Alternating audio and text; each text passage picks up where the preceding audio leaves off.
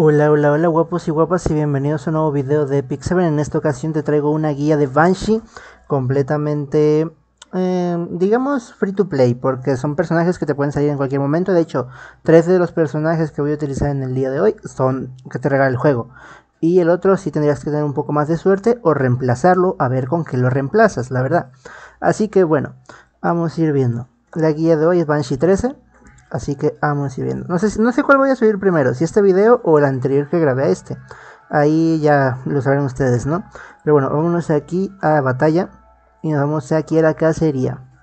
La verdad, ¿por qué farmear Banshee? Bueno, realmente te voy a explicar. Lo que más me farmea es Guillermo, Banshee y Kaides. Por sus sets. En el Guillermo, velocidad, crítico y eficacia. En la Banshee por contraataque, resistencia a efectos y robo de vida y destrucción. Y en Kaides por Perfo y Torrente, básicamente, pero también hay Venganza y había otra. Ah, y herida, y herida. Así que Golem es por si gustas algo en específico. Y Simanax también. Más que nada Simax por el set de Furia. Que de hecho en este video vamos a utilizar un set de Furia. no te preocupes, es un set normalito. Porque vamos a depender de dos personajes para poder hacer esta guía. O este equipo. Así que Dos DPS, mejor dicho. Este es el equipo que está haciendo en pantalla. Llevamos a Vivian, a Sigret, a Furio y Sahak. El problema aquí podría ser que no tengas a Sahak. Eso ya es un problema un poco, eh, más o menos. Pero, o sea, con los otros tres no hay queja. Tendrías que tener a Vivian porque la regalaron junto con Sigret. Si la tengas a más 15 o no, no importa porque eh, en Vivian solo necesitamos la S2 y la S3 y en Sigret solo la S3. Y en Furio S2 y S3. Eh, también solo necesitamos la ulti, así que no hay, no hay problema. Empecemos primero con la limpiadora de la primera fase, Vivian. Tengo la ventaja de que tiene imprint, pero si no tiene imprint tampoco te preocupes. Va igual que mm, siempre, destrucción crítico. Eh, lleva el armamento exclusivo que le acelera un 50% cuando utiliza la ulti. Lleva el artefacto de cuerno de guerra para que lo toque antes que a todos los demás, porque ya va a limpiar la primera fase solita. Ten en cuenta que estas son las estadísticas de Vivian. Ataque 3600 y cacho. Eh, probabilidad crítico 100%, pero es solo necesario 85. Eh, lo que viene siendo daño crítico, el más que puedas, el mío se quedó en 326%. Va, va. En cuestión de habilidades, mejoras la S2 a tope y la S3 Mm, no lo vas a utilizar. Bueno, podrías incluso solo mejorar solo la S2 y ya quedaría. Así que bastante bien. Yo la tengo mejorada porque si vamos, si, vamos a estar un poco el daño. Si en caso de que Saja le falte damaje. Pero no, de ahí en fuera, ahí estaría. El imprint del de está para los aliados. Porque para ellos probabilidad crítica nos hace falta. Ahora, vamos con el otro DPS del equipo. Va a ser Sahak.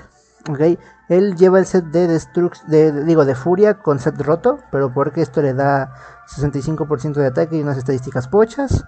Y igual otro 65% de ataque y un daño crítico y mm, probabilidad crítica más decentes. Así que pienso yo que está bastante, bastante bien. En cuestión de ataque, 4000 está bastante pocho. Daño, probabilidad crítica, 86 4% es suficiente porque aunque no tengamos a Furio, recuerda que la ulti y el básico de Sahak solo necesitan el 50% de probabilidad crítica porque la habilidad les da el otro 50%. En daño crítico 300 es lo que alcancé, si puedes más, más. El, artefacto guasón distraído para más daño. El armamento exclusivo lleva este, pero da bastante igual porque acelera. En cuyo caso, si acaso sería mejor... Mm, no, es que ninguno da igual el, el armamento exclusivo, solo llévalo porque tenga más ataque. Pero es que da igual porque no hay nada que mejore el daño ni nada del estilo. Eh, el otro personaje que vamos a estar utilizando es mm, la, la Sigret.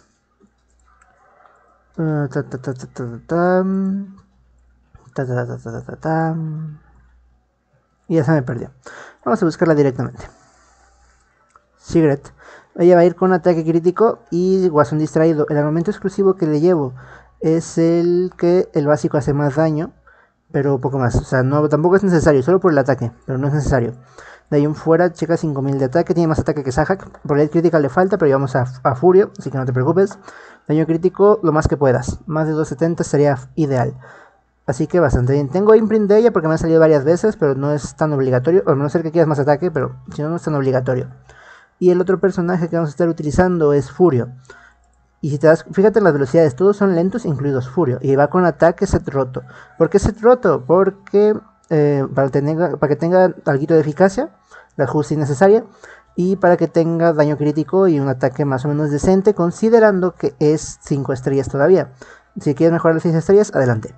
Eh, en cuestión de habilidades, solo mejoras la S2 y la S3. ¿Por qué la S2 y la S3? Porque también vas a estar, también lo vas a estar utilizando en el Guillermo. Entonces, para, para poder utilizarlo mejor ahí. En cuestión de artefacto, le, he puesto eh, Canción de las Estrellas, si lo aplica bien, si no también. Eh, pues, alternativas, Rosa Argana y mmm, Canasta del Infinito. Alternativas, ahí está. Para provocar duels. El artefacto, digo, eh, digo, el armamento exclusivo es muy importante, sobre todo con Furio. ¿Por qué? Porque gracias a él vamos a poder hacer este semi one shot o equipo rápido. ¿Por qué? Porque esta modificación provoca atadura en el objetivo. Dice causa atadura, o sea, no es que quieras o no, causa atadura. Entonces tiene eficacia por si las moscas, pero tendría que ponerla sí o sí. Y por dos turnos. Ahora, esto es muy importante porque eh, cuando le, le, bajas la vida a la Banshee el 30%, se acelera, le toca un turno extra, te pega en área y hace Banshees chiquitas arruinando la vuelta rápida. ¿Va? Va. Entonces, al ponerle atadura es una, ventaja, una desventaja que elimina el aumento de prestresa. Entonces, si tiene atadura, no puede acelerarse. Por lo tanto, Sahak y Sigret podrán utilizar sus ultis con gusto y tranquilidad. También mencionar que la S2 de Furio eh, provoca lo que viene siendo. Mmm, se fue la idea. Uh, probabilidad crítica aumentada. No le haría falta a Sahak ni a Vivian, pero a Sigret sí y a él también. Entonces, vamos adelante. Ah, te voy a dar una demostración manual y después una automática. Eso sí, esto tiene falla. Si Furio no mete reducción de defensa, esto se va a la goma. Ten en cuenta eso. Así que vamos a ir viendo qué onda aquí. Muy bien. S3, ya te la sabes. S3 primero. Se acelera la mitad de la barra, fíjate. Bastante bien. Un turno pasó, otro turno pasó, tercer turno pasó y Uy, aquí. Eso es lo que puede pasarnos un poquito. Furio lo tengo un poquito adelantado. O sea, se adelanta un poquito porque no puedo bajarle mucha mucha velocidad. Entonces tendría que ponerle más velocidad a Vivian o mejorar más el artefacto. Entonces es la bronca que tengo un poquito respecto a velocidades. Así que eh, vamos otra vez. Mm, veas un pequeño corte habrás visto un pequeño corte, modifiqué las botitas de Furio para que sea un poco más lento, te lo voy a enseñar, ahí estamos. Eh, para que quede en vez de 145 velocidad, 136, sigue siendo más rápido que, que el Sigurd que va en 128 y que este Saja que va en 122. Y tiene estas botas pochas que no lo voy a mejorar ni nada, son unas botas que tenía medio regadas para el equipo que tengo con RAM. Entonces ahí estamos. Así, otra vez la vuelta manual y después la automática para que veas si funciona. Ya te lo mencioné, si no rompe defensa furia en la fase 2, mm, no, no va a ganar. Eso no se gana.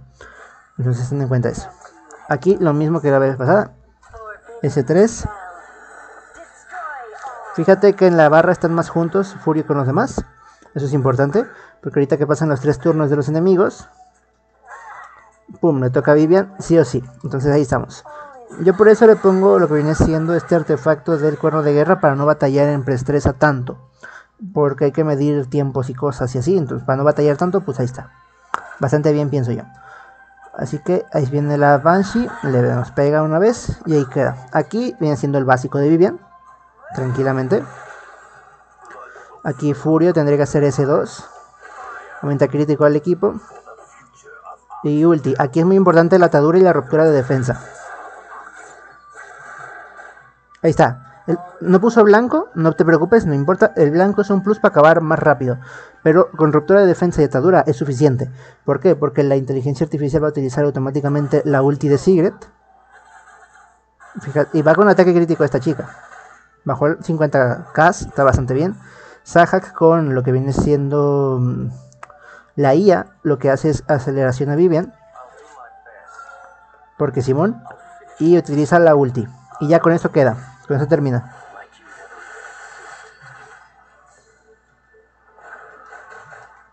Y con, de sobra también. Ahí está el equipo. Funcional. Un poquito complicado en cuestión de molagoras, pero si vas empezando y tal, está bien, pienso yo.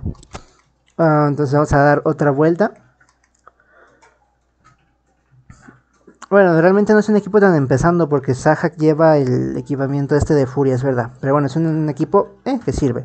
Ahora en automático, te repito, si no meten destrucción de defensa, no funciona. Entonces se arruina un poco la vuelta, pero pues cuando lo haces en automático no te fijas tanto en eso. Y, la ventaja de la Banshee, a diferencia de Kaidos, por ejemplo, es que si falla el one shot o el semi one shot, los vence rápido. Entonces no pierdes tanto tiempo. Ahí estamos. Fíjate ese 2.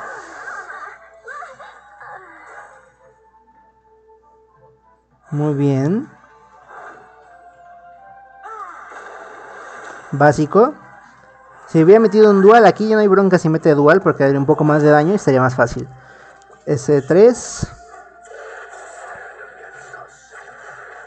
Y metió los tres desventajas, fíjate tú, qué, bendición. Ah, la, la ulti 64K, el Saja que acelera y la ulti. Y son incluso más damage y pum, joya. Así que eh, bastante bien en mi opinión. Espero te haya gustado este video, te haya servido y que te sirva para tus personajes. Y si quieres ver más guías del estilo, recuerda que em, Puedes verlas en el canal. Si quieres alguna guía en especial, puedes pedirla y cuando pueda la traeré. Y nos vemos en el siguiente video, guapos y guapas.